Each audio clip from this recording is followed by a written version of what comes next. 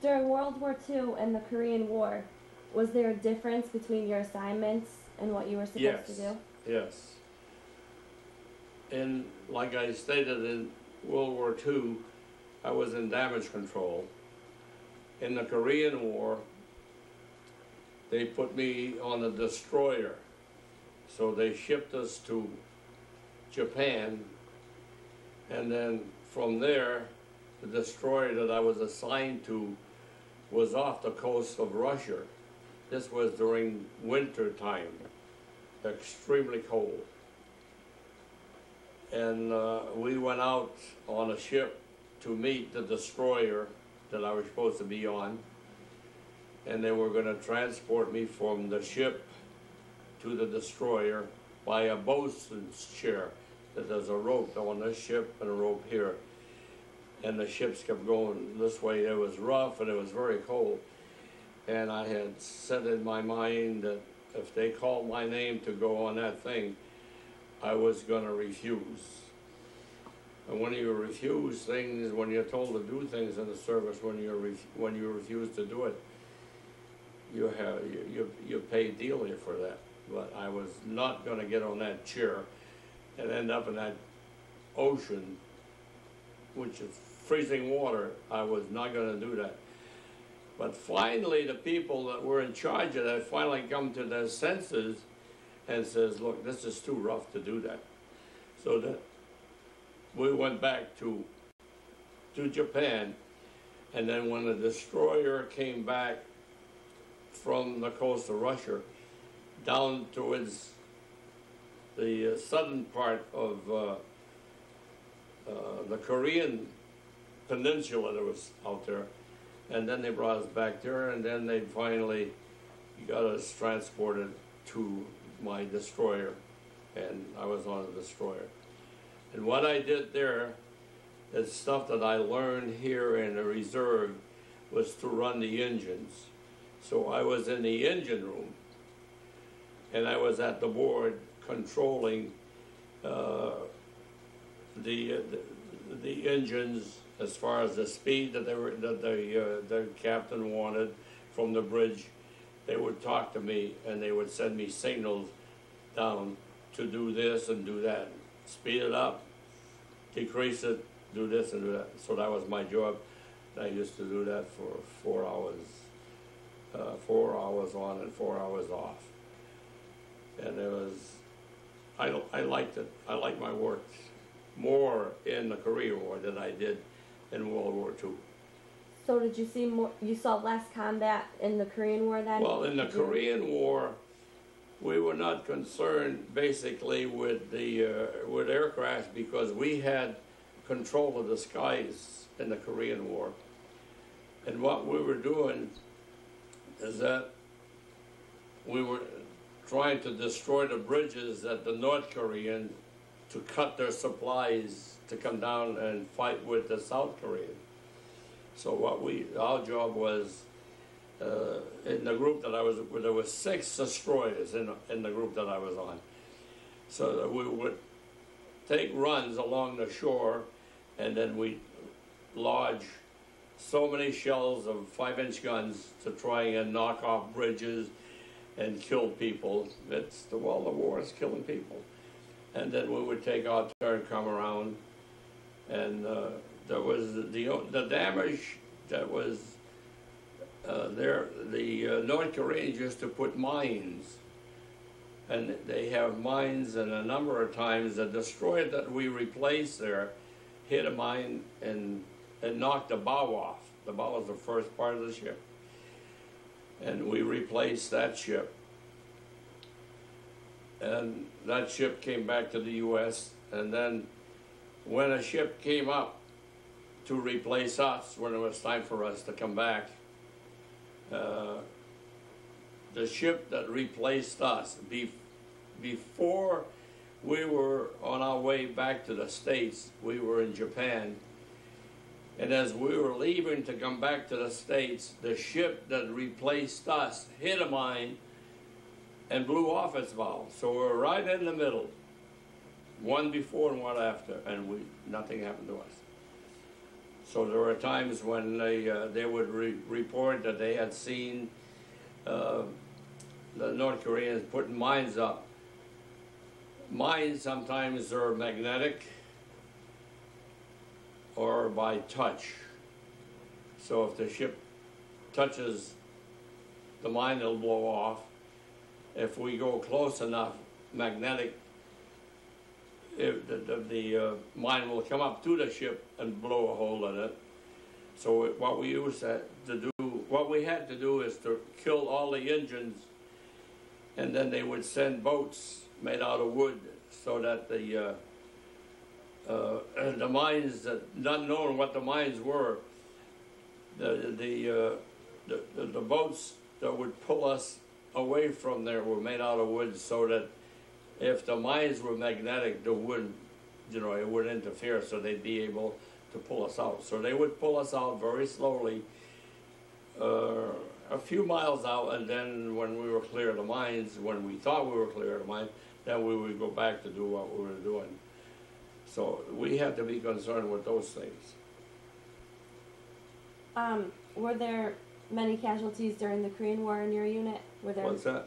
were there more casualties in the Korean War in your unit than World No, War II? no, no, there, was- we, no, there was no cal, No. no casualties, no, because we were basically in control. Were you awarded any any medals in Korean War as well? Yeah, yeah, certain things we did, we had to repair a condenser in a war zone, so we got a, a, uh, a, uh, there's a medal for that that came from the President of the United States that the ship got.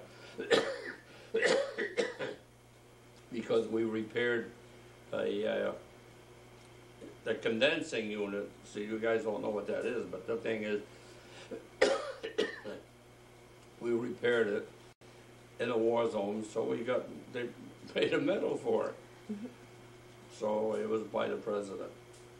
When you were in the Korean War, was it as strict as it was in World War II? Staying in touch with your family wise, did they cut stuff out when you were trying to write back home? No, no, no, No. no, no, no, because, uh, I, I'm not too sure. We had basically control. The thing is, is that, uh, everything was in the open. The, the, the captain used to get on the PA system and uh, he used to tell us what we were doing. World War II, they never said anything like that. They wouldn't dare. No, you could write anything you want. But the, the only thing we're doing, we're just shooting shells in there to knock off their roads, knock off their bridges. Uh, if, if these, we had spies on there, they would tell us if there was, you know, a group of trucks coming down. So then we take right off, and they'd give us an idea of where it was, and then a lot, because we couldn't see what we were doing, we're just throwing shells over there to knock them out. How was the food in the Korean War?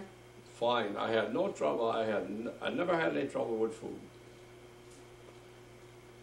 And did you same thing like in World War II for entertainment when you had hours off? Was it the same stuff that you would do in World War II? Well, in, in the Korean War, we used to go back to Japan, which was like an overnight ride. If you look at the maps, you'll see that the, say the, Korean Peninsula was here and Japan is over here. So uh, overnight, we were back in Japan, and then uh, we the repair parts of the ships or whatever, and then we uh, they'd load it up with ammunition again, and uh, it was basically not Were there any people that you were in the Korean War that you were also in World War II with no that you knew of? no. No. Were there any people that you met off ship during the Korean War? Uh, I in the mess hall in the Korean War. One time for dinner, and I must think about that because there's a lot of sailors there, and you you form a line, and you keep going, and you just you know take the seats that are available. One time, for whatever maybe dinner or whatever it was. I was right in back of a guy. He was the, the guy in front of me. I couldn't see his face, so I didn't know who he was. but he was one of the sailors that was aboard ship in World War II. So when he turned around and sat down, and I looked at him, and he looked at me, and I says, "Well, uh, where the hell have you been?" You know. So we had a talk, but that, that's about all. What about any people from Korea that you? No, no. What? So when did you end in the Korean War? What years were you in service during the Korean War? Is that on now? Well, you better turn it off because uh, I'm starting to, you know, start to forget about some of these things. I just remember I went in the Korean War in 1950 and came out in 1953. Okay. The exact days or the months or whatever, I don't know. I don't remember. And what was the name of the ship? that you were- USS Bo- Borie was a destroyer. Uh, DD 704 is what the real name of that destroyer was. And what did you do when you got back to the, the States after the war?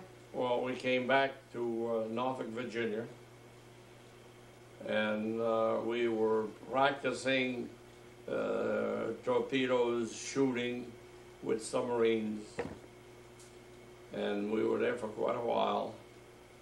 And then my time uh, to be discharged was coming up, and uh, the uh, engineering officer called me up in in his stateroom and put a lot of pressure on me to re-enlist. He says they were going to help me because they knew that my English was not that good. I had no uh, no diplomas, but he said we will help you get these things. But I was uh, kind of determined to uh, get out. So uh, the next day, uh, a day before I left the ship, again, I was the engineer on the boat that runs the engine to take parties, you know, from the from where we were to shore. And he was mad at me, so he made me uh, wear a white uniform, my white uniform, dress uniform, to operate the boat, to take the a, a party ashore and then back. So therefore, he he got back at me. He was mad because I would not re-enlist. So therefore, and then from then on, I went to the uh, naval station in Norfolk, Virginia and there I got discharged, and uh, they give us money to on a train to get back home. Did you have any other family members that were in any of the wars? In the, in the war, in World War II, yes, my oldest brother, uh, they called him Pete, and my youngest brother Raymond was in the service too. Uh, Raymond was on the destroyer escort, which is smaller than the ship that I was on. And he was in the North Atlantic chasing German submarines. And my oldest brother was, that was World War II now, those two, World War II. And my oldest brother was in the Pacific somewhere. And we never ran into one another. But when we were in battle in the Philippines, when I was my time to be one hour on the gun, remember I told you before I was one hour on the bridge identifying planes, and then one hour on the gun. Well, right where the gun was, it was a gangplank. They used to bring up casualties from the shore. They would bring them up because we had a lot of doctors aboard ship, and uh, they used to bring them up and try and fix them up so that they could take them from there and bring them back to the States. So one, and, and the gun that I was uh, there to load up and shoot was right next to this, so I used to have to, well, I didn't used to have, I would look at the faces because I knew that my brother was somewhere in the Pacific, but I didn't know where. And I used to look at the faces of the soldiers coming up, hopefully not to see my brother.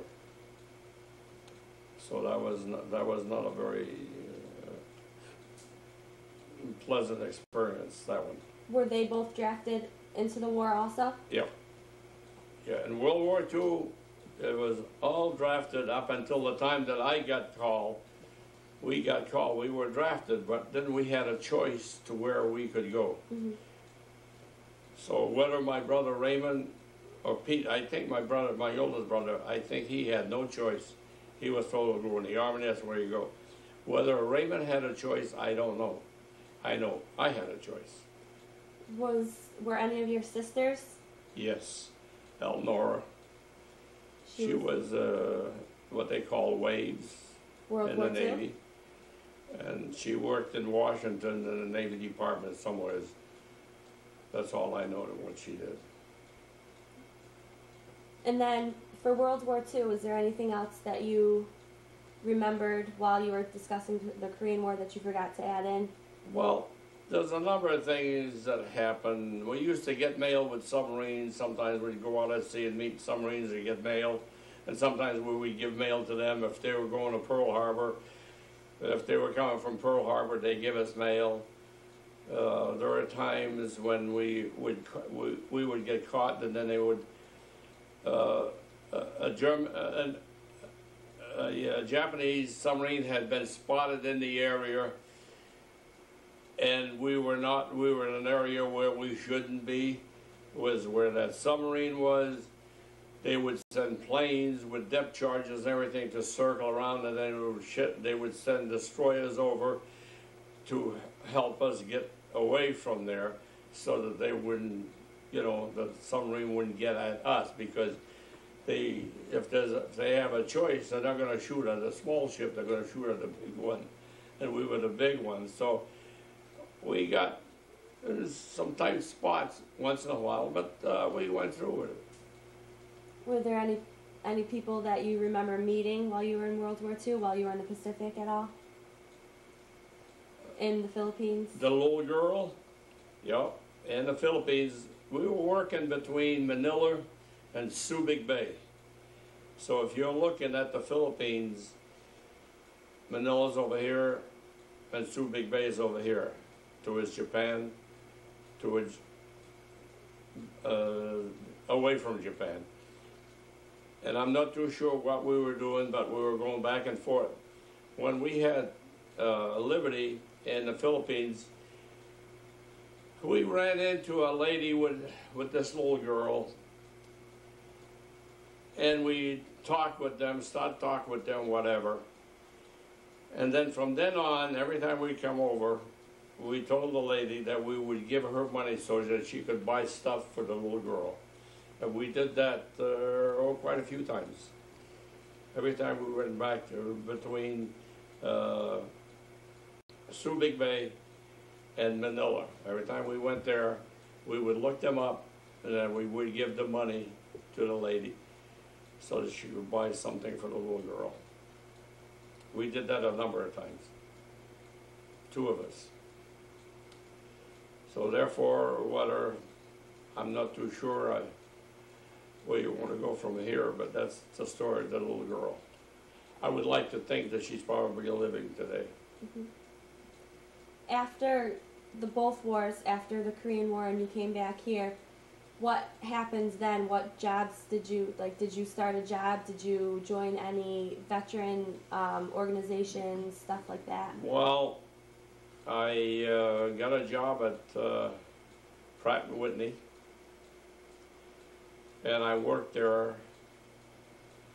I worked there quite a few years, and uh, basically that's what I did, working Pratt and Whitney. Not too sure what else.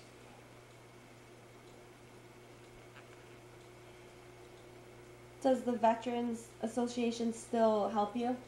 Pardon? Does the Veterans Association still help you? I, I don't know what you're saying. Veterans Association, the government take care of me very well. Anytime I need any kind of medications or whatever, all I have to do is go to the VA. And they take care, they'll, uh, you know, uh, if I, if I need something, if I don't feel well, the doctors are there. They, uh, I'm- don't know what you're, Look my way. the- huh? While I was in the service, in the, uh, in World War II, uh, I had my tonsils removed at the, uh, Naval Shipyard, in Brooklyn. And, uh, in the Korean War, one morning I couldn't walk. So the varicose veins were really blowed up. So they put me on a stretcher and they took me to the uh, naval uh, naval station in Long Island and they operated on both my legs. Since I've been out of the service, anytime that I have any kind of a problems, other than dental, they don't do anything dental unless I was hurt in the service dentally, dentally. Uh, the uh, government provides everything for me. Medications, whatever, is very little. What they charge me is nothing compared to what people pay on the outside.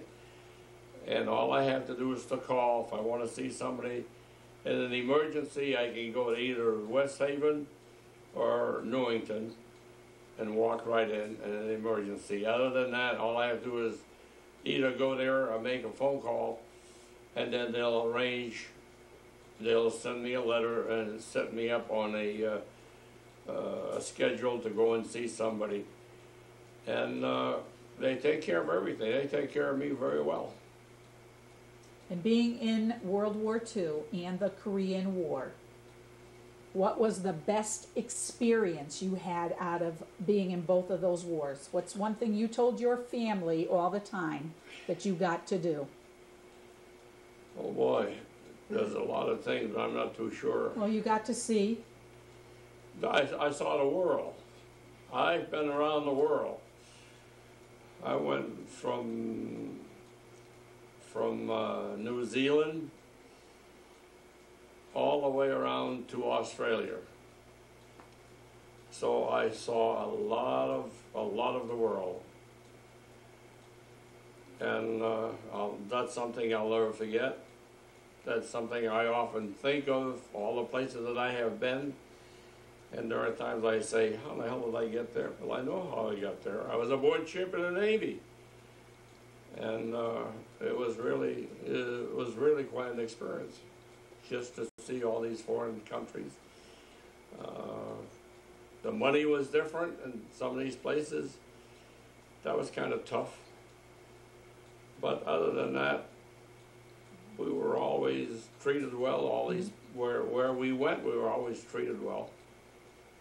And uh, that's about it as far as that. Were there ever any reunions from There- each of the ships that There- you got together with the people There were were? reunions, but I never went to them. There was one here not too long ago, and uh, some of these reunions, from what I from what I hear, uh, you meet, and then you go on trips and seeing things, and I've done that before, so I I, I, I feel like I probably would uh, I probably would see guys that I knew before, but it's altogether different now. So you have different ideas, uh, different interests. Mhm. So that the last one that they had here not too long ago, I talked with the uh, person that was in charge of that. It was a lady from Massachusetts and she said that her husband was on the USS Blue Ridge, and uh, he had passed away.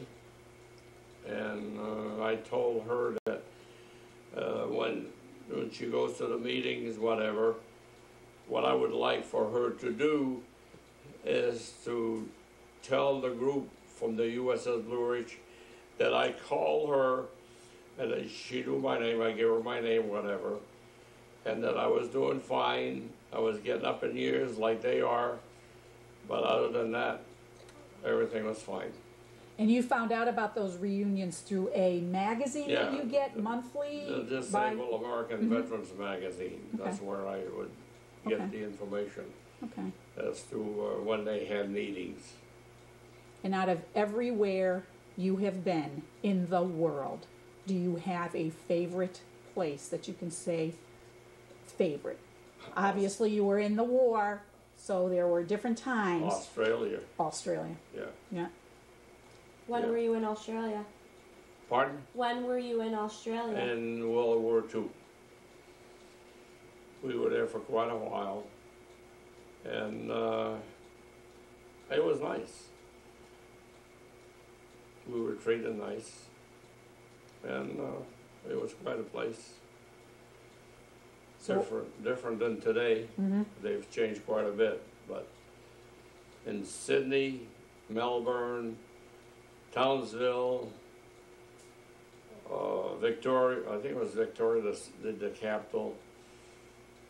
Those are the cities, the places I went to in, when I was in Australia.